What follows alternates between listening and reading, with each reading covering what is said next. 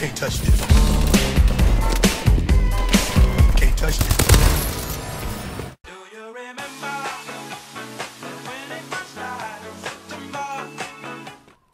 Hey guys, welcome to the Brykks Shithouse. Today I've got a very simple and short video showcasing probably the best kill streak in the game and uh, believe it or not, that is definitely the UAV.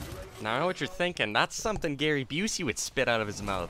But you have to take my word for it. This kill streak is going to rack you up score galore. I mean, it's going to get you more points than Paul Bissonnette of the Cardiff Devils.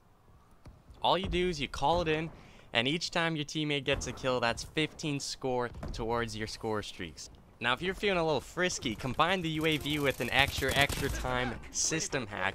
Pop those both in the air. You're getting 30 points each time your teammates get a kill.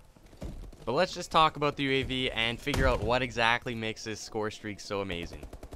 Alright, so just to be clear here, we are not using the UAV so we can see people on the radar.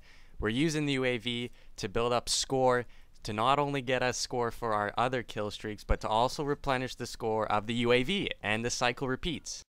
So we're going to put three modules on this. We're going to put extra assist points on, obviously to give us more score, extra time to make it last longer, and support. So you're always going to get a couple of these in every game. And that's pretty much it. I mean, it's not a hard score streak to use. You throw it in the air and your teammates get kills. And the absolute most beautiful part about it being support is it just racks up points so you can call in even more UAVs. And uh, even when you die, the score you gain from the, the assists will still count towards your kill streaks, like not just UAV, but uh, any other kill streaks you have. So even if you die, you're still getting scored towards your score streak.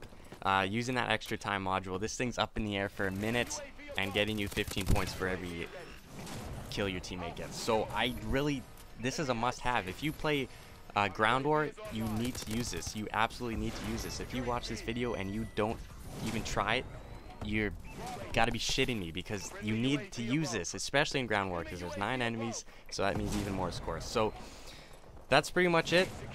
Thanks for watching, and I'll see you guys next time.